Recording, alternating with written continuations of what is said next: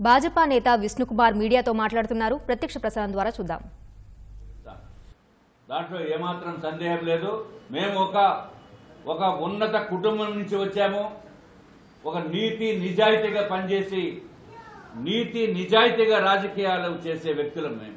అంతేగాని అడ్డదారులు తొక్కి లేకపోతే కబ్జాలు చేసే వ్యక్తులం కాదు. ప్రజలందరూ కూడా దీన్ని గుర్తించుకోవాల్సిన అవసరం ఉందని చెప్పి నేను తెలియజేసుకుంటున్నాను.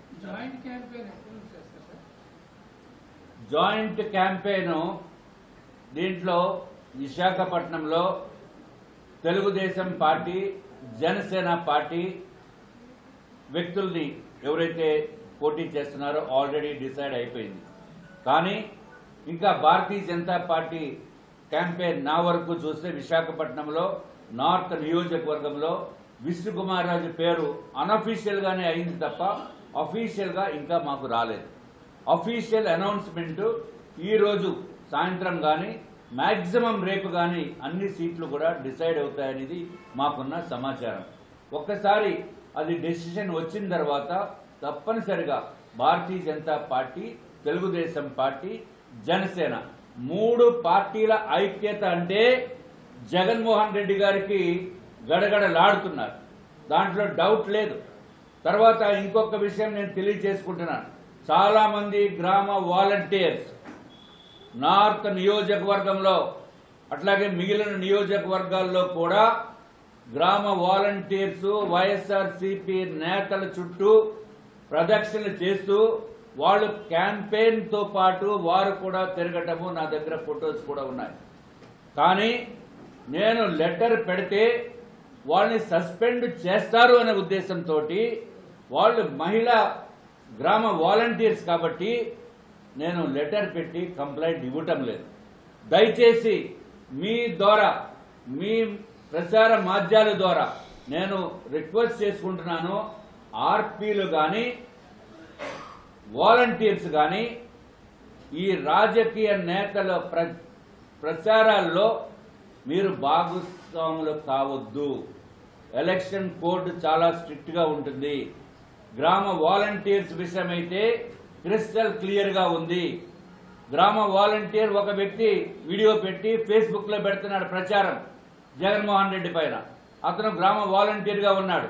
అది నేను పంపిస్తే కలెక్టర్ గారు ఇమీడియట్గా ఉద్యోగం నుంచి పీకేస్తారు. కానీ నేను కంప్లైంట్ ఇవ్వలా. ఇంకొక విషయం. దయచేసి మీరు అందరూ కూడా కలెక్టర్ గారిని అడగండి క్లారిటీ తీసుకోండి. ఆర్పీలు ఎవరైతే రిసోర్స్ పర్సన్స్ ఉన్నారో డ్వాక్రా మహిళా సంఘాలు వాళ్ళు అంటే ఆ సంఘానికి పది మంది చెప్పిన ఒక సంఘం ఏర్పడుతుంది. రిసోర్స్ పర్సన్గా ఒక ఇరవై ముప్పై సంఘాలకి రిసోర్స్ పర్సన్గా ఉంటారు.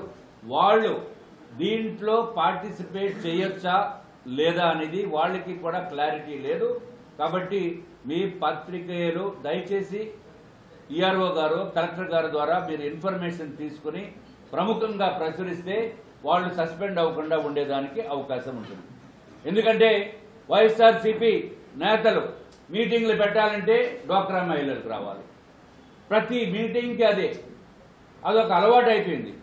వెళ్ళకపోతే ఇక్కడ ఉన్న అధికారులు కూడా డబాయించే పరిస్థితి వచ్చింది. ఎవరైతే వాళ్ళకి కోఆపరేట్ చేయటం లేదో వాళ్ళకి లాగిన్ పాస్వర్డ్ ఉండే ఆ పాస్వర్డ్ని ఆపేస్తున్నారు. ఇటువంటి కంప్లైంట్స్ కూడా మా దగ్గరికి రావటం జరిగింది.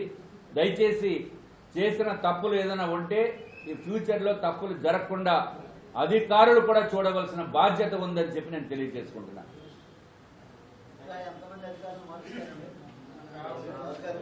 ఎవరు తప్పు చేసినా కంప్లైంట్ చేస్తే తప్పనిసరిగా యాక్షన్స్ ఉంటున్నాయి.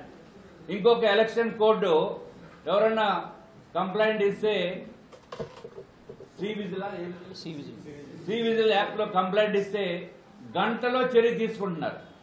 సంతోషం. మంచిదే. కానీ మేము రేపొద్దుట డోర్ టు డోర్ ప్రచారం చేయాలి. మాకు పర్మిషన్ ఇవ్వండి అంటే ఫార్టీ ఎయిట్ అవర్స్ తర్వాత కానీ పర్మిషన్ ఇవ్వటంలా. మరి ఆ ఎలక్షన్ నిబంధన కూడా కొంచెం మార్చవలసిన అవసరం ఉంది. Forty eight hours